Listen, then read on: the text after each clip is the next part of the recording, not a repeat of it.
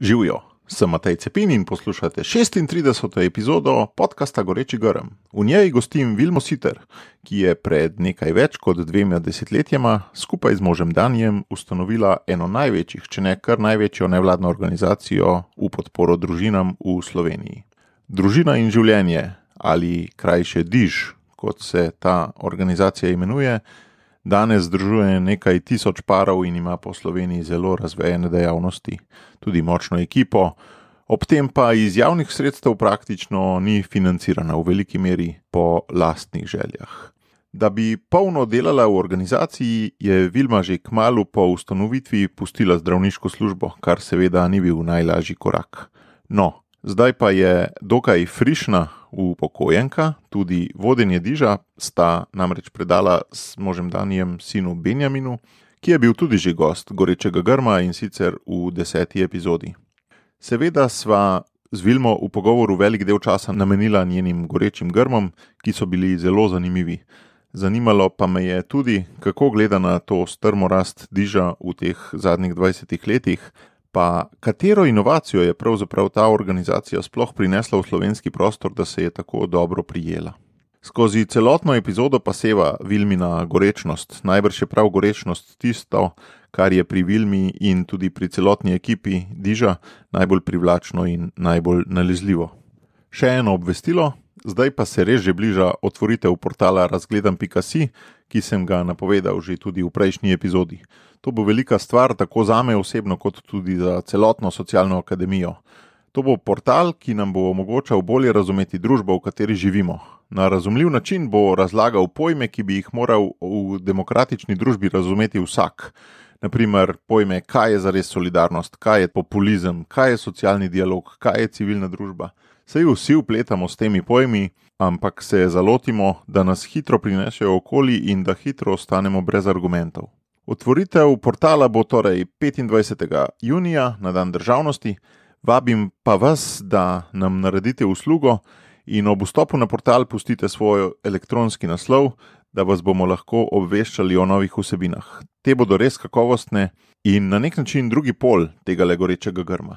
Če je goreči grm srce, ki ga mora uspešen in angažiran človek imeti, potem je razgledan pika si razum. Srce brez razuma ali razum brez srca, to enostavno ne gre. Potrebujemo oboje, razum in srce. Zato potrebujemo oboje, razgledan si in goreči grm. Zdaj pa Vilma oprosti, gremo kar v akcijo. Že veš, kaj je tvoj edinstven prispevek k boljšemu svetu in kako ga udejaniti? V podkastu Goreči grm razkrivamo močne zgodbe tistih, ki že živijo svoje poslanstvo zato da lahko ti najdeš navdih, prepoznaš svoje goreče grme in pogumno stopiš na novo pot.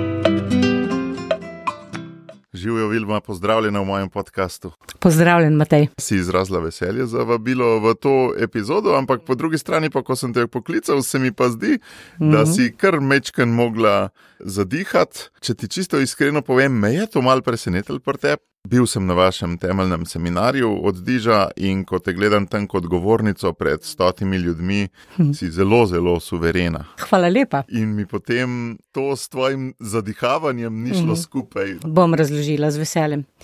Lej, dve stvari sta tukaj. Ne? Po naravi, jaz sem mislila celo svoje življenje, da nisem govornica. Zato, ker nisem niti probala. Po drugi strani sem bila vzgojena ali pa izhajam iz družine, ki mi je dala eno zelo slabo samo podobo, ne da bi hoteli, ampak zaradi tega, ker je. Sta pač moja starša ranjena na specifičen način. Ne? Ni družine, kjer ne bi bili starši ranjeni ali pa mi ranjeni, in pač smo del padlega človeštva. No, in moja mama je bila rojena nezakonska. In ona zdaj, ko bo letos bo 90 let stara, je pred parimi leti še rekla, da se še kdaj zbudi z idejo, kaj tebe sploh treba bilo. In to je tisto, kar oriše njeno slabo samo podobo. In to je predala naprej nam, vsem štirim dekletom, štiri smo bile sestrene. In zelo sem hvaležna staršem, ker so mi pa dal velik zaklad. Zaklad vere, čeprav tradicionalne, ampak vere, potem ustrajnosti pri delu, poštenost, tudi en red v dnevu. To so mi starši privzgojili. Meni ni problem, kaj moram ta prvo zjutraj narediti, ker vem, kakšen je moj red. Tako kot Jordan Peterson reče, ne? še tisti, ki so depresivci, naj te prvo pojslo postelajo, da bodo zvečer videli, sem pa le nekaj dobrega naredil v dnevu. Druga stvar je pa to, kar si rekel, da sem pa suverena pri govorništvu, je pa dar in to božji dar. Jaz sem poročena z možem, za katerega so rekli, da je bolj suveren na odru kot pa pod odrom. Se pravi, je naravni govornik. In jaz sem si mislila, kaj bom jaz zraven.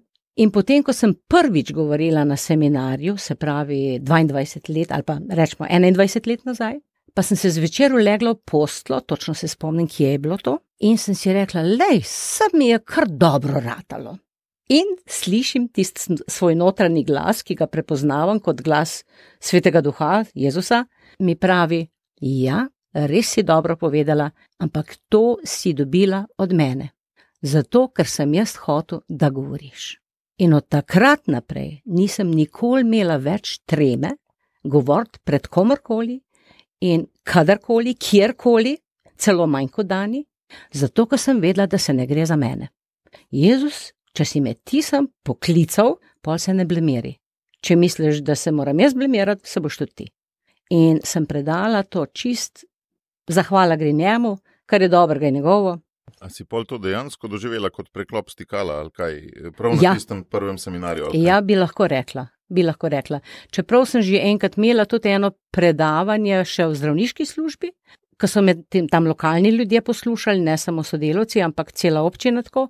In mi je prišel eden potem rekel: Lej, pa nisem vedel, da zna tudi žena dobro govoriti, ker mož je bil itak, ne, je bil takrat župan, pa je bil res naravni govornik. Ne, in, in to je bila za mene že ena takšna velika pohvala. Ne. To mi deluje, kot da je dejansko vse čas že bil ta talent v tebi, ampak da si ga potrebovala sam prepoznati. Ne? Verjetno. Da dar ni bil v tem, da bi ti boljš govorila, ampak je bil mm dar sam v tem, da si to sprejela, da si v nečem dobra, da te je bilo treba. Tako da me je bilo treba nekam porint, ne? ali pa Ja. nekako v to na nek način prisiliti. No?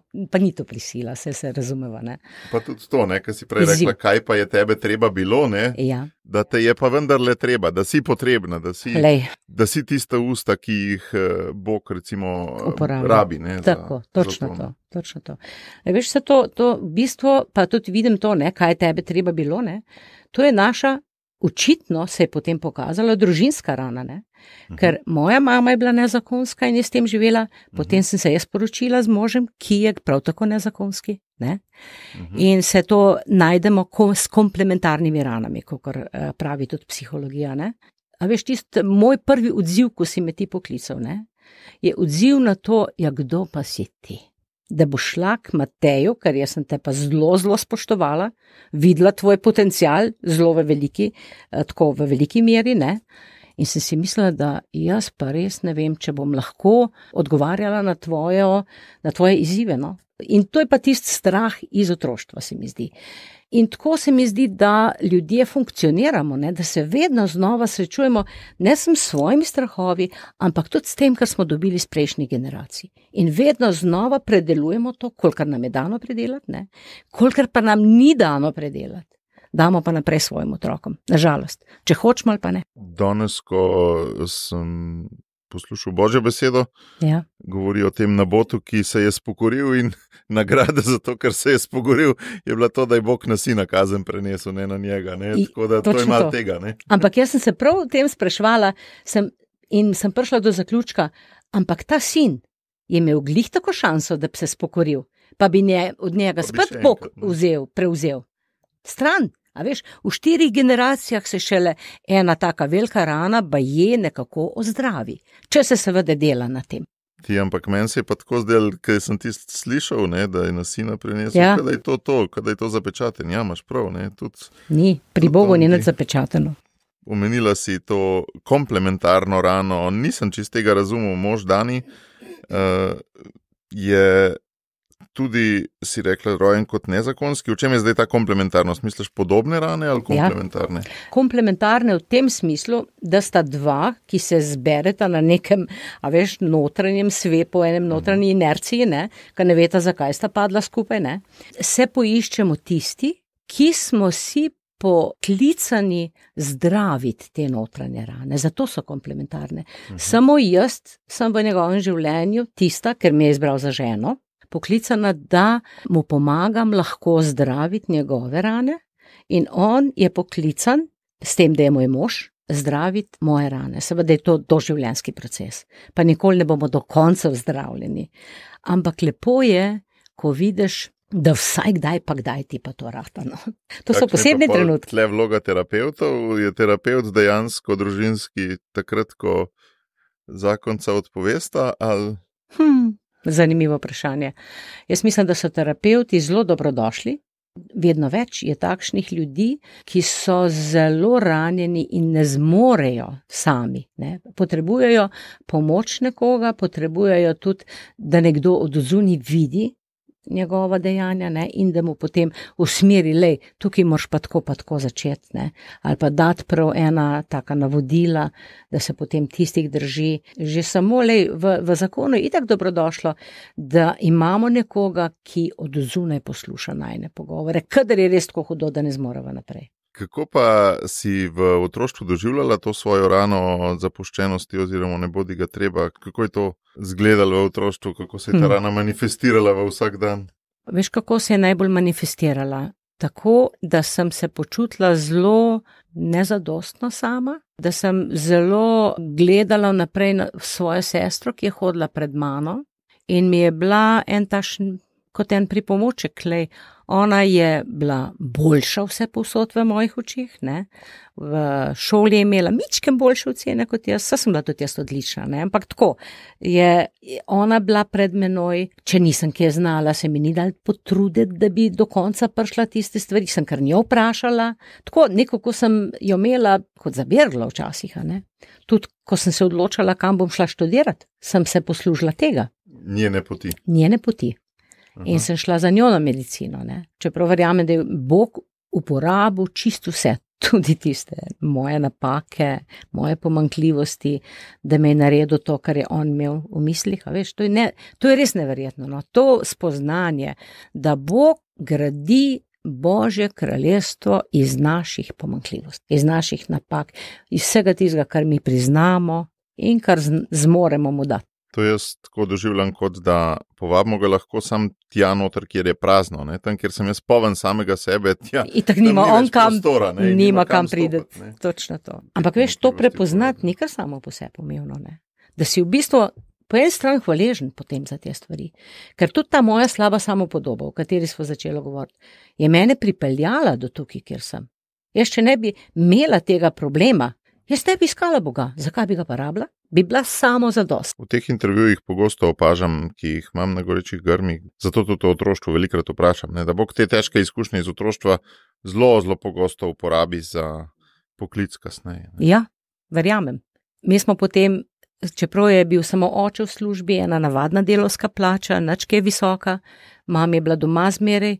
In smo tri doštudirali medicino, ena fizioterapijo. Ne? Zanimivo je na to. In moj oče, ne, ki je mizar, pa njegova mama, ki je zmeri bila samo kmetica, ne, pa mama. V celi vasi pa je so vsi ljudje, ki so imeli kakšne zdravstvene probleme, šli k mami. Ona je bila tista, ki je spremljala porodnice po vasi.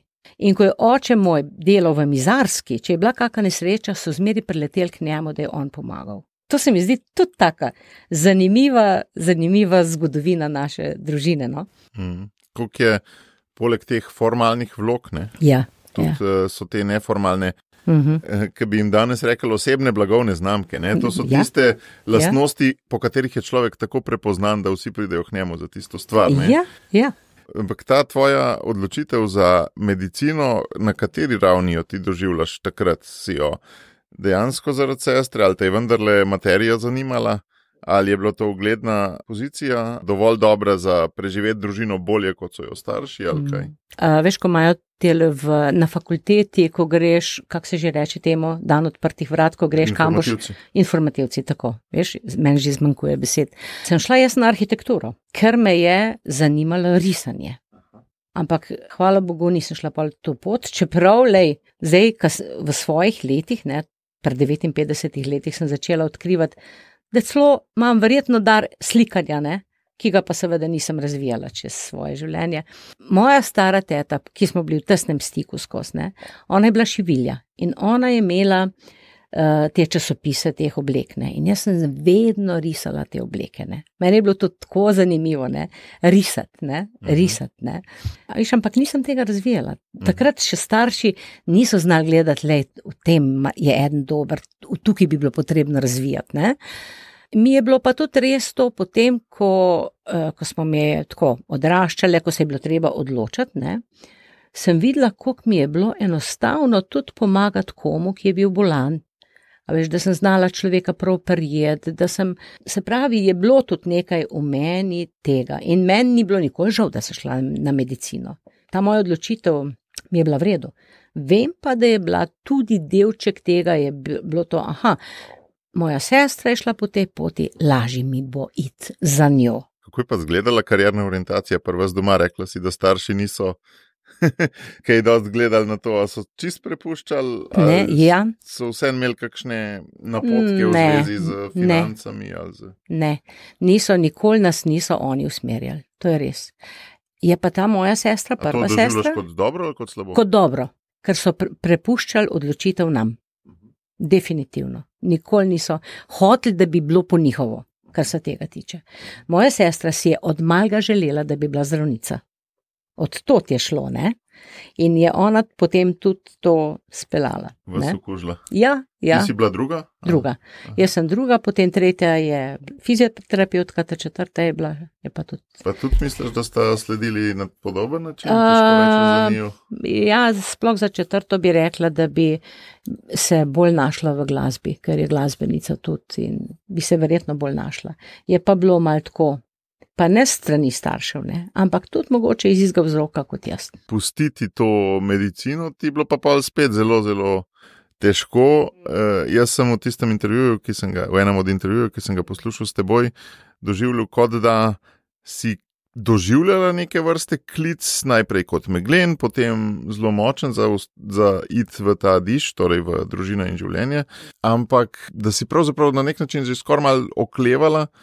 In dokler ni bilo pa res lažje iti v diš, kot pa. No, vidiš, tukaj očitno nisem dobro povedala, ker bistva, Aha. bistvo bom poskušala zdaj povedati. Aha. Jaz imam vedno občutek, da naj, naj diš, ne, ko smo ga mi dva začela, ne, se je začel 20 let pred njim bil ustanovljen. Aha. Ne, ali pa 22 let. Preden bil ustanovljen. Začel se je v bistvu takrat, ko sva mi dva vsak posebej, jaz najprej, pred možem, ne, uh, doživela ta, uh, lahko rečem, božji dotik, ko sem nekako doživela prav dotik na tisti svoji najobčutljivejši naj, uh, točki. Ne. Preko enega seminarja, to je bil prvi seminar prenove v Sloveniji, na katerega smo bile mi dve sestro povabljeni. Tam sem jaz potem počas v tistih sedmih tednih, kako je trajalo, začela počas razumeti, kaj sploh krščanstvo je in kaj je Jezus naredil za mene. To me je pa najbolj potem nekako presenetilo, da me on vabi osebno v svoj odnos. To sem doživela pa enkrat v svoji tisti študentski sobici, ko sem prebirala delček Božje besede, ki smo jo imeli vsak dan za prebrati na tam na seminarju. In je bil uh, citat iz preroka Jeremija: Z večno ljubeznijo te ljubim. Zato sem ti tako dolgo ohranil svojo milost. To je bil trenutek, ko je ta Božja beseda postala živa pred menoj. In takrat sem vedela, da ni to samo stavek, ki je bil napisan pred 3000 leti, ampak da je namenjen, namenjen meni osebno. In najprej je bil moj odziv, kaj mene, da ima lahko kdo rad. In da je to Bog tisti, ki ve sploh za mene, a ne tisto oh, presenečenje. In potem sem doživela, da je to ena priložnost, da mi Jezus ponuja roko in da mi reče: Lej, Vilma, jaz te hočem pelati naprej, jaz ti bom pomagal, da boš postala takšna, kot je za tebe najboljš in kot bi tudi ti rada bila. Jaz sem imela, na primer, čist konkretne tri stvari, ponavadi navedem. Prvič, s to sestro, s katero nismo mogli biti ena brez druge, smo bile kot rit pa srajca, ni minil dan, da se ne bi kregale. Taka prava sestrska ljubezen. Pa sem vedela, da to ni prav, pa sem se zelo trudila, da tega ne bi bilo, ampak je še zmeri bilo. Vsak dan. To je bilo res tako naporno. Druga stvar, rada bi brala Božjo besedo, ker smo hodili tudi vem, na ena taka srečanja, študentska, ne, kjer smo se zbirali študentje, pa so se tam pogovarjali o enem odlomku. Jaz nisem vedela ene besede povedati. Prvič, mi svetopismo ni govorilo, čeprav sem ga prebrala, drugič, se ne bi nikoli jaz izpostavila, ker me je bilo tako sram, da bi kaj narobe povedala. Se pravi, tri stvari. In to sem vedela, da mi tukaj pa zdaj Bog prihaja točno v to, kar jaz najbolj potrebujem in da imam možnost. In pogruntala sem, da nimam kje zgubiti. Če njega povabim v svoje srce. In ko sem jaz to res naredila, to z vsem srcem, je on res prišel v moje srce. In kako to vem? Ker so se začele bistveno spreminjati stvari prav na teh področjih. Sestro, se od takrat naprej niti enkrat nismo več skregali. To je bilo tako jasno, da to ni od mene, ampak da je to moč svetega duha. Je ona ta goreči garam v istem trenutku doživela? Ali... Pa podobno. podobno. Ja, tudi tudi na tem seminarju. Tudi na tem seminarju. Ja.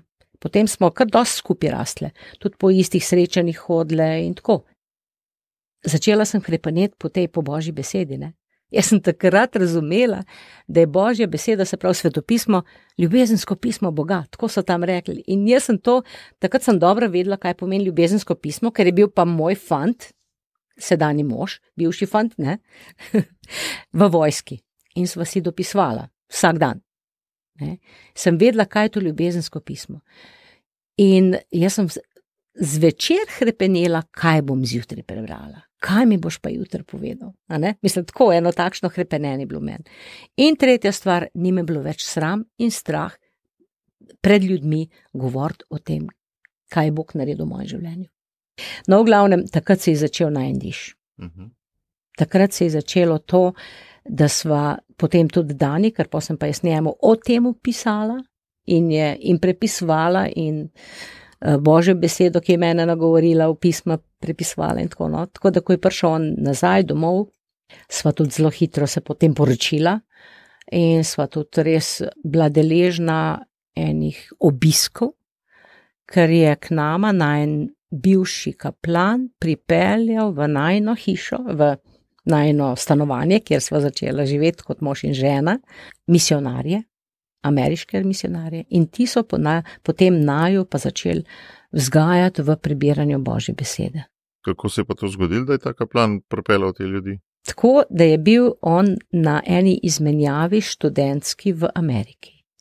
Takrat je še študiral ekonomijo. In je tam spoznal ene določene ljudi, ki so potem kasneje šli v, kot laični misionari po svetu, so se stacionirali na Dunaju in so potem prihajali v Jugoslavijo. In takrat je ena se spomnila, jaz pa tukaj poznam enega, ki je zdaj postal duhovnik v tem času, ne, ker potem je on iz ekonomije presedlal na teologijo in tako. In ga je kontaktirala, bil je kontakt, in on je bil pa naš bivši kaplan. Ker so mu rekli, mi bi pa radi se pogovarjali s študenti, ki znajo angliško. Je on ta prvi najo se spomnil, le tukaj le imata dva, z njima eh, kontaktirite naprej. Čisto eno tako res eh, nenamensko druženje. Ne? Mi dva vidva to res kot eno božje vodenje. In od takrat naprej je bila moja glavna odločitev v življenju, da bo božja beseda postala moja avtoriteta in prioriteta, jaz temu rečem. Kar pomeni, da se bom vsako jutro vstala, da bom imela čas za to in da ji bom verjela. In bolj ali manj je to zdaj že 40 let tvoja navada. Še več, 44. Kakšen je bil pa ta seminar od tega, kar si rekla, prenove? Kakšen format je bilo to v tistih, kaj konc 70-ih let, če prav razumem? V letnicah sem jaz pa zelo slaba. Če smo se mi dva poročila, ne, uh, ja, uh, 78 let, se pravi, da je bilo to 76. Ja. To je moglo biti kar nekaj nenavadnega za tisti čas. Ne? Takrat je bilo to prvo, prvič, to je tudi ta uh, isti kaplan, prpelov iz Amerike. Zbirali smo se pa v kamniku takrat, sedem tednov. Sedem zaporednih srečanj. Sedem zaporednih srečanj. In o čem se je govoril? O božji ljubezni, o človekovem grehu, o tem, kako je Bog najdel rešitev za človeški greh, kako je zaradi tega poslal svojega sina, da bi odrešil človeštvo, in kako potem sprejeti Jezusa kot svojega odrešenika, in eh, potem kako hoditi naprej. V svojem življenju isti format imajo še vedno prenovo v duhu. Ne? Mi, da smo v prvih letih zelo sodelovali z njimi, sva bila potem tudi ena ekipa, ki je okrog hodila in oznanjala, oba dva z možem, Ja, potem sta vidva že 40 let v tem Seveda. biznisu oznanjevalskem. Seveda. Glavni poudarek je bila, uh, kako se temu reče, ne velika zapoved, ampak uh, veliko naročilo. Matej 28, 18 do 20, ne, ko pravi Jezus, da nam je vsa oblast v nebesih in na zemlji, vi pa pojdite po celem svetu in naredite mi vse narode za učence in učite jih vsega, kar sem vam zapovedal, in jaz bom z vami do konca sveta. Približno je to. Ne. To so ti ljudje nekako, ne vem, mi dva smo to usrkala. To je poslanstvo, ki so ga nama nekako dal. In sva vedela, da to delava, pa naj bova v kateri koli službi. Aha, ni bilo, nista hrepenela potem, da bi to lahko še več delala poleg vajnih služb. Zelo različna je bila ta pot. Od začetka smo mi dva mislila, da bova šla profesionalno v nekaj takšnega, kot sva zdaj. In takrat sva šla tudi do načkofa Šuštarja in sva mu nekako se ponudila, da bi rada delala zakonci. Ampak on je rekel, da bi rad, da bi zlorabil v slovenskem prostoru, ampak da nima materijala, da bi nas preživel kot družino. Tako da sva rekla, pa pa dama to na stran. A je dejansko ste se čakala, ponuditi za ja. službo, tudi z plačo ste v bistvu tudi bi želela v Ja, zameno. seveda. Tako Ja. ja. kot so bili navajeni, veš, ti misionarji, ne, ki so naj usposabljali, veš. Čeprav oni so si mogli sami nabirati. No, Sej ampak to, a misliš, da to, ki deluje, da ti greš k škofu, pa rečeš, jaz čutim, da imam to poslanstvo škofa, bi mi dal ti plačo, ker jaz to še nisem slišal. Ne. Sem takrat sta mislila, da to Sva deluje, takoj pla, padla na realna tla. No, ker- Pa tudi prav je tako. Lej, vse je prav, da se je tako zgodilo, kot se je, ker mi dva nismo bila takrat zrela za to. Ker če bi bila, bi naj Bog naredil za to Mm. in bi nama omogočil. Očitno ni bil še prav čas in smo pa čakala 20 let 20 in več let, ne? ja, ja. potem. in sva delala vsak v svoji službi, kar sva pač delala. Ne? Jaz sem pač bila kot zdravnica, eh, vmes specializacijo splošne medicine končala. Ne? Potem se je pa. So se pa spet pojavile priložnosti, da sva pač šla v to. Ti si me sprašval o mojem klicu. Ne? Nismo se mi dva kar odločala, ampak so naju situacije pripeljale do tega. Dan je končal svoj mandat kot župan na občini Krško. Potem je računal, da bo ne vem kaj, kakšne službe dubu, pa je zbolel z bolečinami v križu in je bil na Berglah pet mesecev. In so vse lepo tiste službice, ki jih je on imel v mislih, da bi lahko šel tam, vse je padlo v vodo. Takrat smo mi dva videla, da je priložnost, da zdaj pa res moramo moliti in izmoliti, kaj pa zdaj tista božja volja, kam bova šla, kako bova živela naprej. Čeprav lej, lahko smo preživeli tudi eh, z mojo plačo, ne? tako da jaz se nisem toliko sprašvala o tem. Bilo je pa zadanja vprašanje, kaj bo. No in takrat so prišli potem spet ti isti ljudje z, z iste organizacije, s katero so bila midva povezana pred 20 leti. Prav personalno isti. Ja, no, um, lej, tudi oni so še prihajali tako občasno k nama. Smo poznala tudi tega, ki je prišel pers personalno potem k nama ne? in ponudil Daniju priložnost, da bi on prevajal njihove materijale iz angleščine. Seveda je bilo to je bilo njemu pisano na kožo. Prvič angleščino je študiral, svetopismo je poznal, ker smo ga itak bila skozi tem. Ne? To je bilo tako res odgovor z neba. No? Rad je to počel, ne? to bi Tako. počel tudi brezplačno, Tako. ker čutiš, da ti je nekaj res napolnjuje. No, no, in to je on to, in, ampak takrat so celo ga vzeli kot v službo. Ne? To je bilo za najo res tako odrešilno, uh, odrešilna stvar. Potem je bil pa on poslan enkrat na, v Budimpešto na eno res tako veliko srečanje vzhodne Evrope, vseh teh, ki so delali s, uh, v tej organizaciji. Ne? In sem jaz. Mogoče je dobro, da poveš vsem, kje Ja, je organizacija. Ta bila, ne? organizacija je bila včasih Campus Crusade for Christ. Tako se je začela, takrat tudi, ker smo mi dva. Delček tega je bil Family Life, od katerih smo potem tudi mi dva dobila te. Zagonska sredstva. Tako. Ampak tega dela, ki je bil v Evropi, ne, tega, to je bilo razvejeno po celem svetu, ne, to je bila največja misionarska Mhm. organizacija. Ne. No in takrat je bil Dani Dan je takrat poslan na en tašen velik kongres v Budimpešto in ker je bil namenjen vsem, ki delajo z mladimi, se pravi, v glavnem učitelji v srednjih šolah, ne, sva mi dva zraven povabila še eno našo prijateljico, ki je bila profesorica na eni od gimnazij oziroma na eni srednji šoli, in pa gospoda Petra Vencla, ki je bil pred, eh, mislim, Minister. bivši minister za šolstvo. In mi štirje smo se potem odpeljali v Budimpešto, ampak jaz sem šla samo kot turist. Definitivno sem hotela samo ogledati si Budimpešto. Jaz nisem imela nobene vloge tam zraven. Tako je bil v moji glavi moj motiv, zakaj si bom vzela teh par dni, celo neki dopusta, da grem lahko preskrbela varstvo za otroke in tako. Me je pa spet Bog presenetil. Preden smo šli, bilo je ene tri tedne predtem, me je začel v jutranjem času, ker ne, ta moja navada sedeti ob Jezusovih nogah, ne, je pač bila skozi prisotna in me je začel spraševati: Vilma, a me imaš res rada? Kako daleč si pa ti pripravljena iti z menoj? Tako, vsak dan vprašanje tukaj, ne? Ker sem rekla, lej, do zdaj le tokle, več ne. Jaz sem en takšen realist, ne? Ta del mi je zanimiv, da rečeš več ne. Ponavadi, ko Bogu odgovarjamo, rečemo Ja. tokle. Ne, Ja. ne postavimo od tukaj naprej, pa ne. No, ne zmorem, ne? Ja, veš, to mi ja. je bilo jasno, ne? Ta tokle mi zmorem zdaj. zanimiv, ja. Ja. Ampak je bilo drug dan spet vprašanje, veš?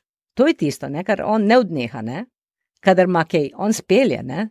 No in potem je bilo zanimivo, kako me je začela motiti narava okrog, kako je bilo suho, pusto, eh, vse sivo in mene pa nikoli narava ne moti. Tako da sem po parih dneh prepoznala, da nekaj mi hoče Bog povedati. Sem za, se naučila to prepoznavati. In je bilo tako, ja, Slovenija je suha. A veš, bilo je pa tisto januar brez snega, uh, nikjer zelenega, nič ne. In takrat sem vedela, da to misli Bog na, na to duhovno uh, sfero v našem prostoru. In ko smo se mi odpeljali po tistem, to je bilo tik preden smo šli mi v Budimpešto, in meni to tako nagovarjalo, da sem vsem trem v avtu razlagala, kaj se mi dogaja. In prvi slajd, ko smo prišli v Budimpešto, je bila slika prerije s tistimi pionirskimi vozovi v krogu. In takrat je meni tako, tako kot da bi mravljinci po celem telesu Ja. tako. To je to, kot da to je to. Ja, kaj je to? to? Nisem še nič vedela, kaj je to, ampak to je to. Bodite pionirji z nasmehom na obrazu in z umazanimi škornji na nogah. Tako je bil na- naslov gor nad tistim slajdom. In takrat sem videla, da se nekaj začenja. Ne? In potem sem gledala v ti seminar, ko je bilo govora o problemih mladih in tako. Ampak tako jaz sem tako od strani vse to gledala. Ne? To Mhm. se mene ne tiče. Ne? Počas pa razumem, da se jaz vsak dan v v službi ukvarjam s temi problemi. In to zelo odblizu Suše. suše. In takrat sem razumela, da ni dovolj, da samo gasim požare tam, kjer sem. Pa katere situacije suše si recimo ti imela v mislih takrat? Kaj, zakonske prepire? Ali... Ne, nisem bila še, nismo bila še tam, da bi prav No, saj, katere zakonski. situacije suše? A so to bolezni, s katerimi si se srečevala kot Tudi- zdravnica? ali kaj? ja, to sem pa opažala, da ljudje zbolevajo zaradi nenormalnih in neprimernih medsebojnih odnosov. Da ne, zač, da ne znajo svojih stvari dati ven, jih potiskajo vase, in seveda to se potem izraža kot bolezen. In ogromno nasilja v družini. Tega je bilo, tam, kjer sem jaz delala, je bilo tega ogromno. Ne vem, koliko Alkoholizma najbolj. tudi. alkoholizma, to, da ne govorimo. Do ne vem, koliko primerov uh, samomorov sem imela, ne vem, koliko primerov celo ubojev. Jaz sem videla od bila ta blizu. suša. Tako. No, v glavnem, uh, po končanem kongresu, na katerem smo bila, so mene poklicali na stran in me vprašali, če bi se jaz lahko priključila Daniju pri njegovem delu in da bi oni pač me podprli finančno na eno družino, če bi se jaz pridružila, da bi oba dva skupaj delala v Sloveniji. To, kar sta 20 let nazaj škofa prosila. Točno to. In takrat sem jaz bila toliko pod vplivom vsega tega, kar se je dogajalo v meni, že preden sva šla tja in to, kar sem tam doživela, da če bi mogla takrat reči, zdaj le grem, bi rekla, ja, pripravljena sem. Takrat bi, ne? Takrat bi. Tvoje srce je zorano.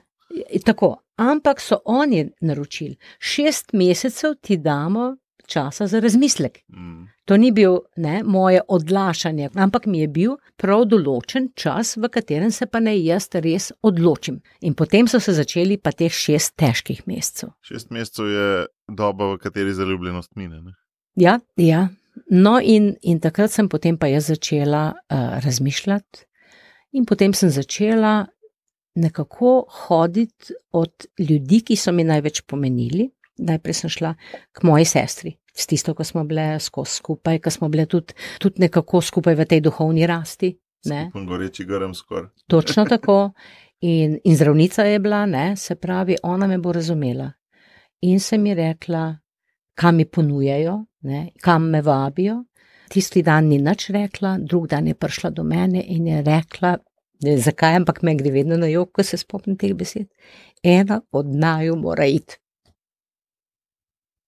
Je to ona prepoznala tono. Potem sem šla starše vprašati, pa sem šla eh, svojo sodelovko, ki smo skupaj delali v tisti ambulanti, pa direktorja.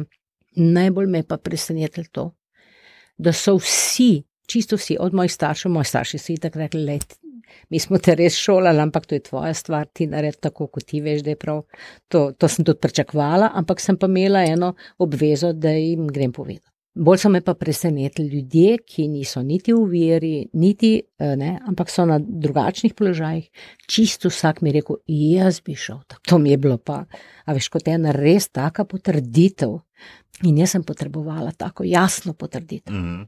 Na zadnje sem šla še gospodu Župniku, kar mi je bilo najtežje k njemu jeti, ne vem zakaj, ampak sem mu razložila vse te stvari, kako se je to aliž dogajalo že od 20 let prej in kako smo mi dva zorela počasi in tako. In je rekel, če je pa to tako, je to klic od Boga in moši. Veš, kam je pa zanimivo, zdaj kaj to govoriš? Koliko ljudi si ti imela v svojih krogih, s katerimi si do te mere lahko delila stvari? Ker po mojem je zelo malo takih ljudi, oziroma mnogi ljudje imajo enega, mogoče dva človeka za take stvari. Govorci si ne vzamejo več intimnosti z drugimi ljudmi, enostavno. Ti si pa očitno se obdala z mrežo takih ljudi, s katerimi si to lahko govorila. Ja, veš, kaj bili so moji predpostavljeni, sem mogla vprašati od njih, ne? naprimer dva, ne? Mm -hmm. se pravi od lokalne eh, ambulante, kateri sem delala na Senovem. Ne? In smo bile zelo dobre prijateljice s to, uh, ki je bila moja šefica tam mm. na lokalni. Mm. Mi, da smo se itak zelo poznale, se zelo spoštovale, in, uh, in, in ona je rekla: pa, Vilma, pa ti si si to želela celo življenje. To tudi moraš hitne. Potem je direktor enako rekel: ne. Nisem pričakovala.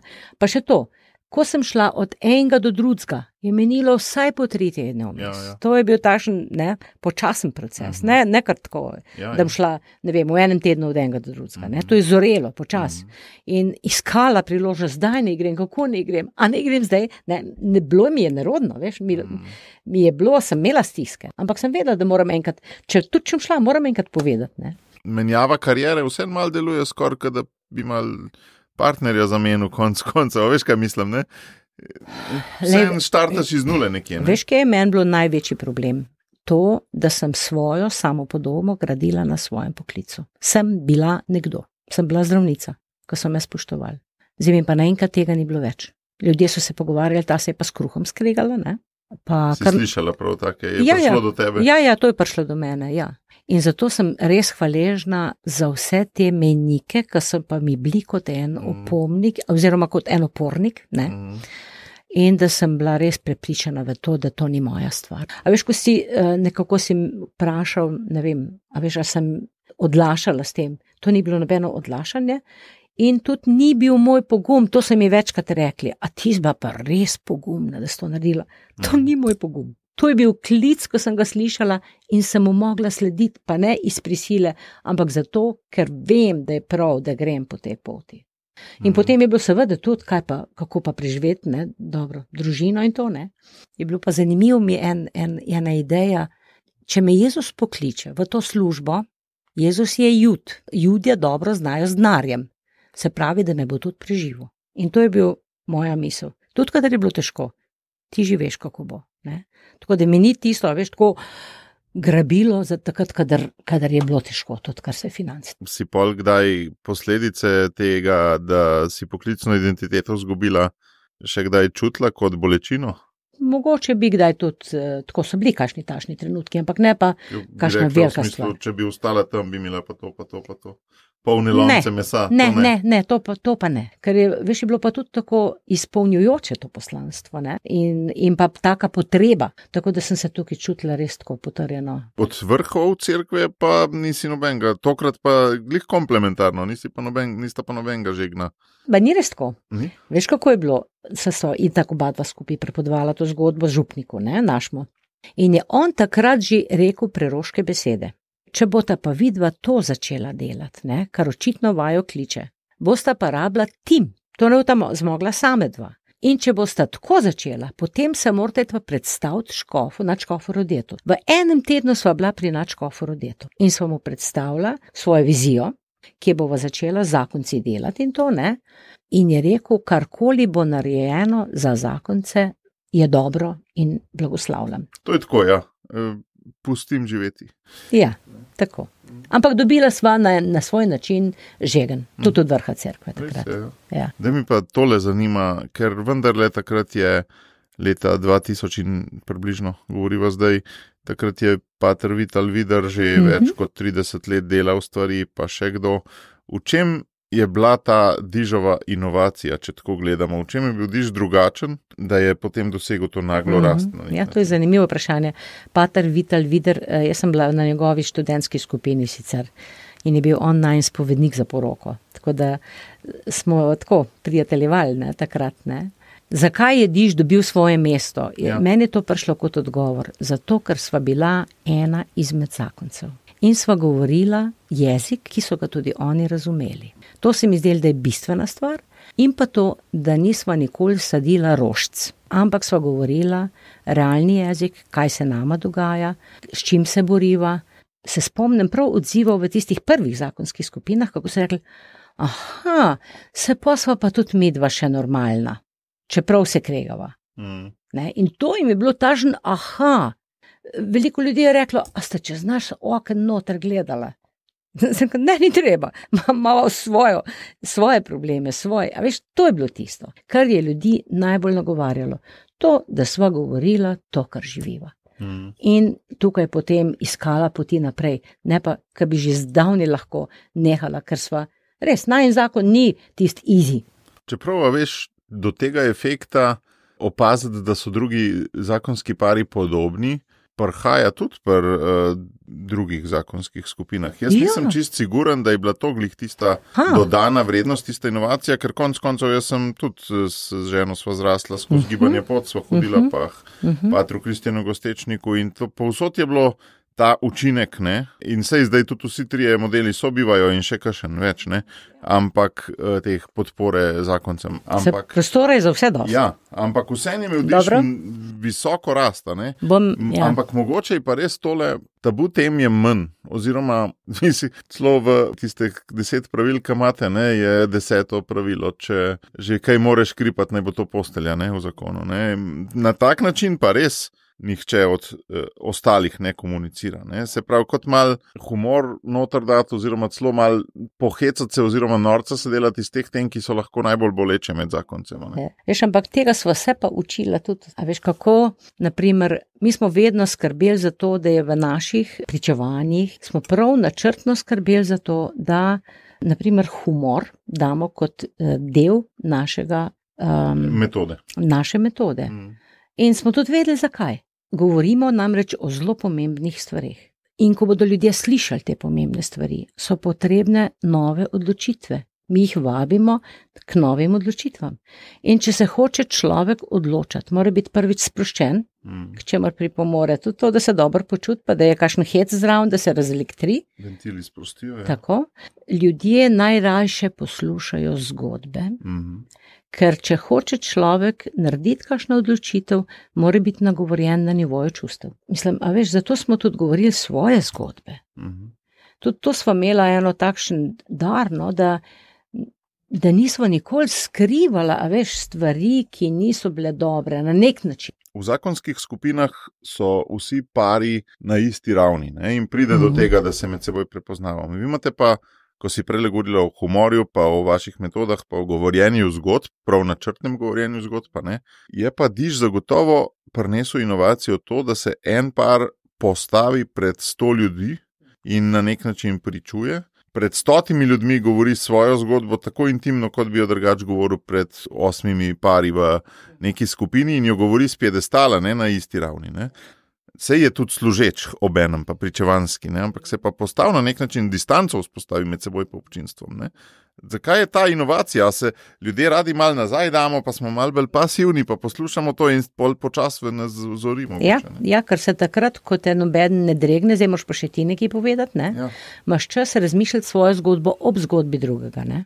Sicer pa je to, veš, v bistvu svetopisanska metoda. Pavel, ki je bil največji pričevalec vseh časov, on je v najbolj ključnih trenutkih, naprimer pred kraljem Agripo, ne, pred takimi bistvenimi, velikimi ljudmi, ne, ni prepodoval o tem, kaj vse se je naučil kot farizej, eh, kaj vse tora vse boje, ne, ampak je povedal svoje pričevanje. Kako ga je prej fiksal, kako je preganjal crkvo, kako se je srečal z Jezusom in kakšno je bilo njegovo življenje potem, ko je Jezusa v svoje življenje spustil. In to so pa tisti trije momenti pričevanja, ki smo jih tudi mi vključevali, oziroma učili ljudi, kako naj bo sploh pričevanje sestavljeno. V bistvu smo mi dva bila poučevana o tem, kaj sploh pričevanje je, kako ga napisati, kako ga sestaviti. To smo ure in ure sestavljali te stvari. Zato, da boš ti znal na kratko povedati, brez okraskov. Brez ne vem, kakšnih stvari, ki jih čl, ljudje ne potrebujejo vedeti. Zdižam ste to pristop pričevanja in govorjenja zgodb in odpiranja za Boga skozi zgodbe ravno na nek način popularizirali. Nekaj, kar bi pravzaprav kristijanu mogel biti dokaj enostavno, tako kot si rekla, že Pavel je to počel znotraj neke veroučne šole v devetih letih. Boh ve, koliko en povprečen veroučenc sliši pričevanj znotraj, znotraj devetih let uh, osnovnošolskega veruka. Lej, problem je v tem, ker se v stvarih ki postajajo institucija, ki jih je moč nekako urediti v en red, kar je tudi potrebno, a ne, zelo hitro izgubi tega duha. Ker pričevanja pa ne zmore človek sam.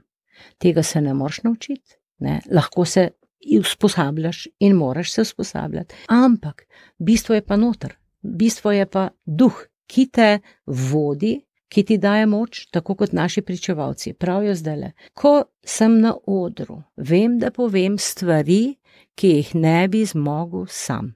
Ko pridem dol z odra, pa me nekdo še vpraša o nečem, ne vem več, tako je eden celo rekel, ker sem spet samo jaz. A veš, postaviti se pod maziljenje svetega duha.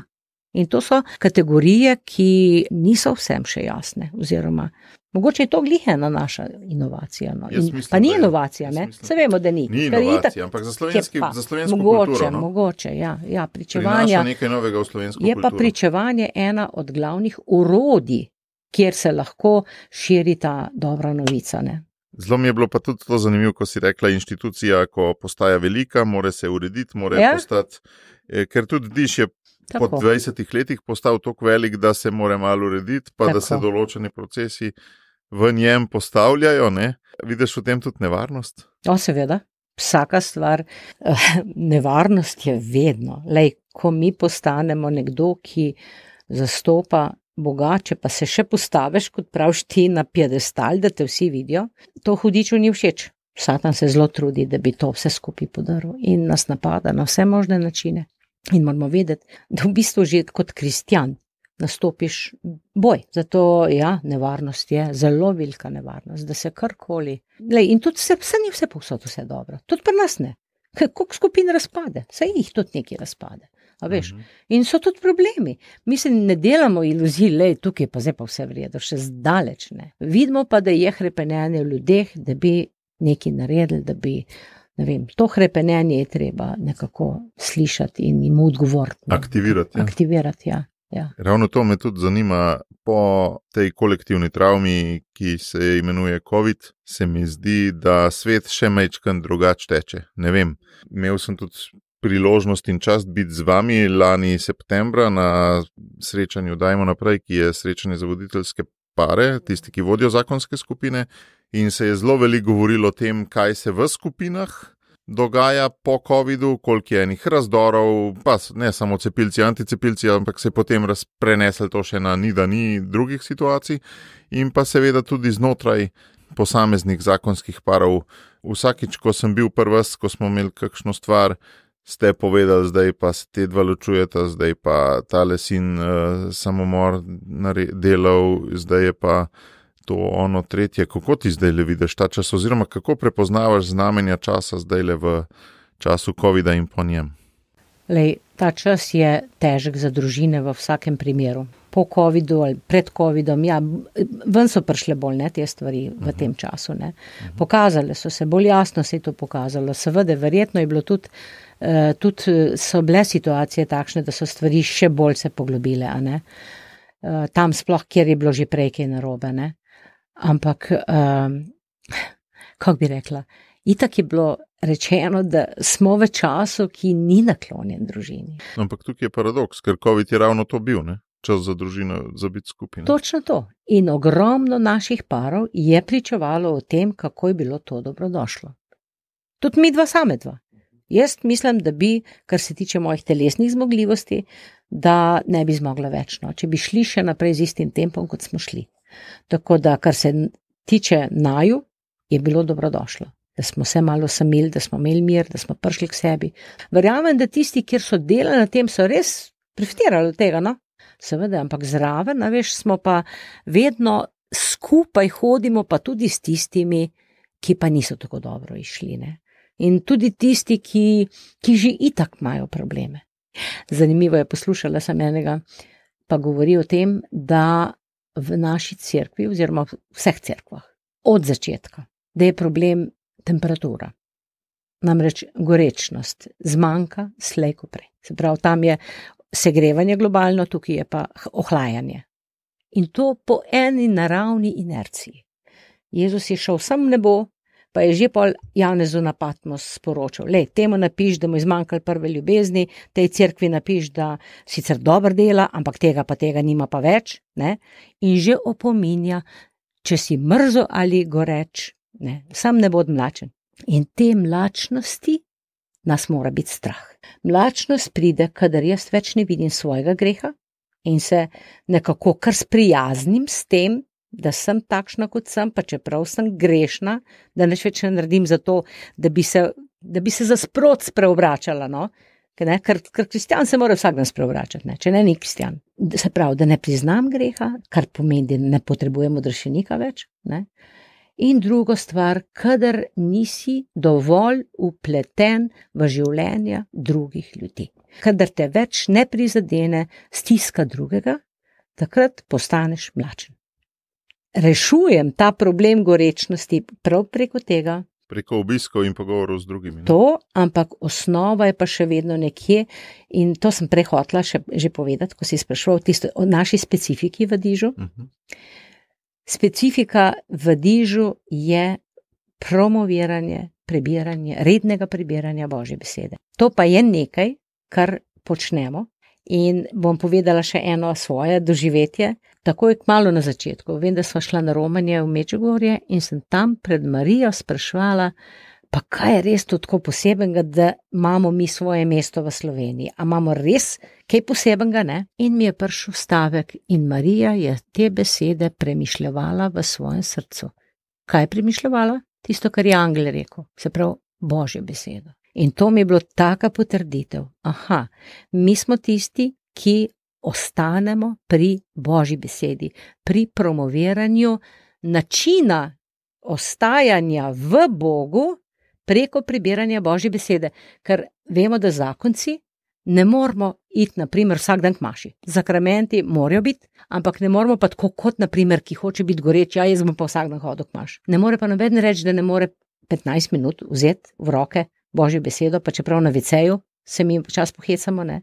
in prebrati tistih par stavkov, ki te nagovori, da potem lahko nekako čez dan sfuraš. Ne? Se mi zdi dobro ta, ta tvoj priporočilo za moje poslušalce, na nek način in tudi za me, da en Ena ključnih stvari je ohranjanje gorečnosti. A bi znala zdaj povzeti v dveh povedih recept za ohranjanje gorečnosti iz dneva v dan? Jaz sem te slišal kot poskušaj brati vsak dan Božjo besedo in se srečevati z ljudmi, z njihovimi konkretnimi mhm. situacijami, ki te bodo oddaljevale od mlačnosti, oziroma ki te bodo čustveno, bi rekel, razburkale. To je res, ampak to, to se mi zdi, veš, brat Božjo besedo. Tam tudi ti si jo brala, pa te ni nagovarjala nekaj let. Ne? Lej, tako bom rekla, ni da mi ni nagovarjala nekaj let, to ni res. Okay. Ampak so bila kašni dnevi, ko me ni nagovarjala. Kaj si rekla, da pred tistim seminarjem prenove leta 76 si že brala Božjo besedo? Kdaj pa, pa kdaj, neredno. Ja. Takrat sem sem kdaj Aha, pa kdaj. Redno, pa bo.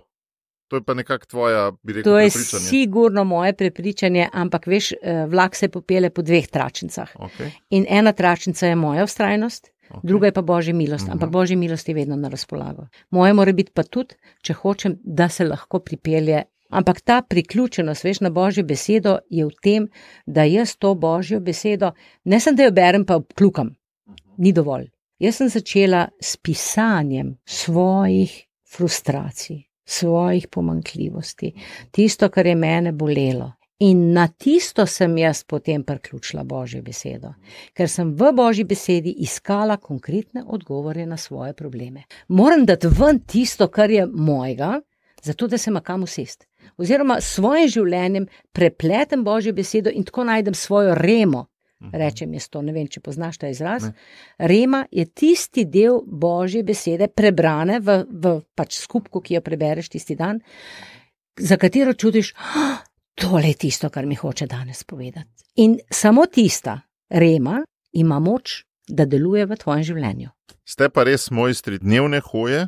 Iz dneva v dan, medtem ko gre pa to nekoliko v navskrižju s tem, da je pa včasih dobro imeti tudi neko vizijo. Mi dva smo imela vizijo.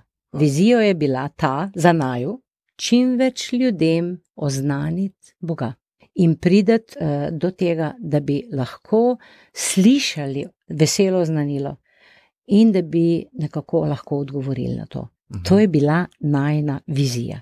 In zato sva živela. Tudi prej, predn sva diš ustanovila, kjer je bilo možno, eh, kjer nama je Bog pripravu, divine appointment, tam smo govorili. No, in če zdaj zaključva ta pogovor, tvoje osebne ambicije proti služenju. Vsak človek si želi, da pot, ki jo je prehodil, na koncu bo imela neko dediščino. Boš pustila neko sled za seboj. Ne? Veliko ljudi naj spodbuja ali pa sprašuje, kako to, da nobene knjige ne napiševa. Ne? A to bi bila taka sled? Mogoče, to so mhm. nas že od začetka eh, k temu nagovarjali, pa Dani zna dobro pisati, jaz se matram, kadar pišem. Eh, čeprav zelo rada pišem, jaz imam zvezkov popisanih še pa še ne. Vsako jutro imam cele kratke, ne. Nimam pa tistega editing, ne. A veš, da bi bilo tudi za ven. Ne? To je ja. razlika med notranjim pisanjem, zase pa za ven. Tako, tako. Ampak mi je eno, eno jutro sem se o tem sprašvala, tik preden smo šli na en seminar. In ne da bi hotla zdaj to, da, da bi knjigo kdaj napisala, to še zmeraj je v moji želji, da bi pustila tudi to dediščino. Ampak mi je bilo pa tako, uh, s tem, kar delaš, s tem, kar si, teh, katerih pripeljem k tebi, da se jih dotikaš, pišeš na table njihovih src. In zaenkrat to sega v več. In ti je to dovolj. Mhm. Tako da, tudi če se tukaj nič ne pozna, to če tukaj konkretno nič ne ostane. So table src drugih ljudi napisane s svetim duhom. To ni moje delo, no. Mi dva sva skozi to poudarjala in tako bila prepričana, da to, kar je v Sloveniji ratalo, ni najno delo. Mi dva sva naredila tisto, kot tiste dobre služabnike narediš, kar imaš za narediti, drugače pa nama je jasno, mi dva ne zmoreva nobenega spremeniti. To, da so življenja spremenjena, ogromno življenj spremenjenih po Sloveniji, to ni najno delo. Je pa potrebna najna poslušnost in tega si želim v prihodnosti, da bi znala vedno bolj prepoznavati, slišati ta Jezusov glas, ker njegove ovce slišijo njegov glas. Ne?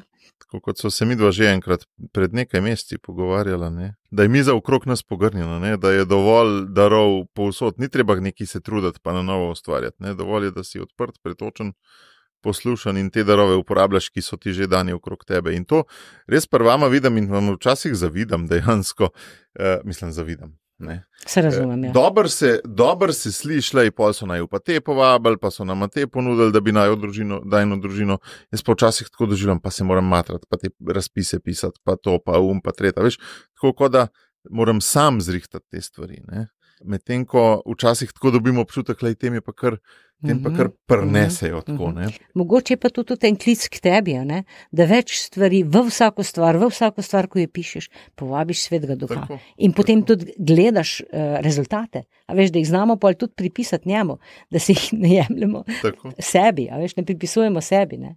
Mi da si res ne moramo pripisovati uspehov sebi, zato ker so božji. Mi da smo prepričana, da je to Bog to podaril slovenskim zakoncem, kar je zdaj v Sloveniji. Hvala, Vilma. Hvala za povabilo, Matej.